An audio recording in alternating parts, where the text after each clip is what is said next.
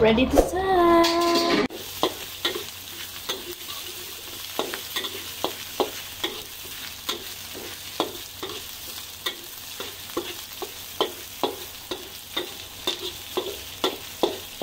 Tom yum fish head. Set aside the garlic, onion, and the ginger.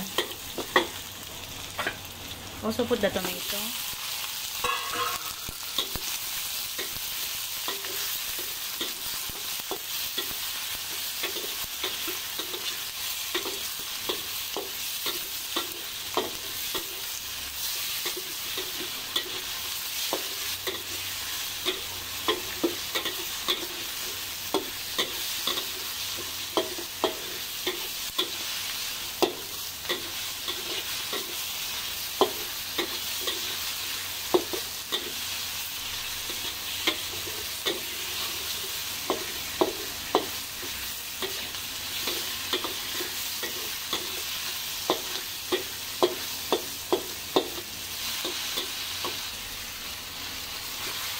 This one is the fish head.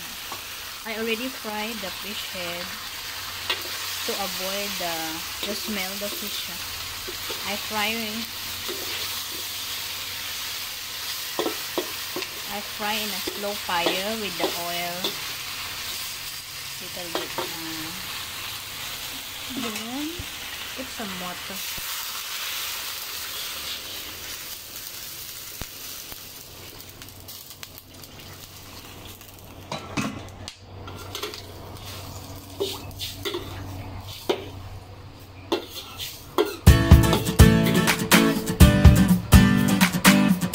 Ulo ng isda. Fish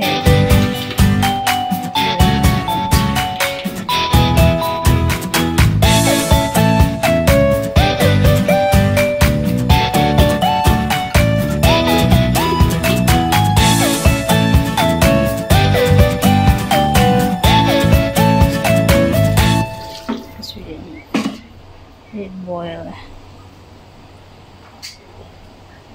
then cover it. Okay, tingnan natin. Oh, it is boiling. Boiling.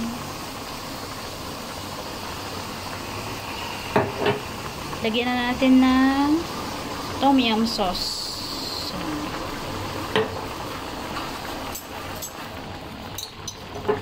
Tom yum sauce. Ito ang nagpapasarap.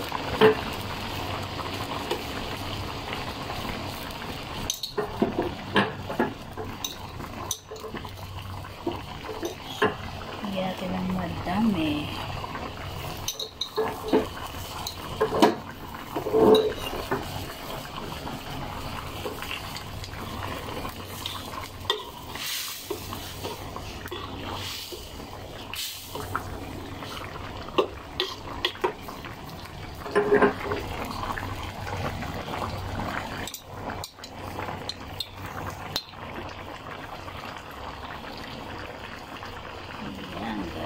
tom yum sauce.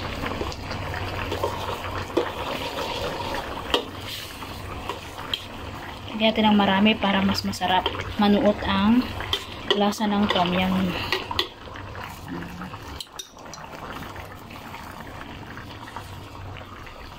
Ayan.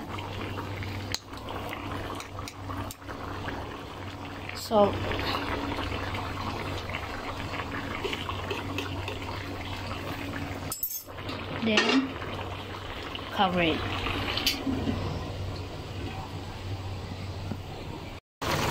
Yun. Natin apoy.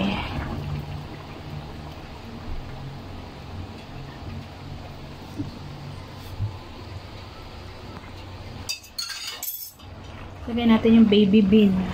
Baby bean.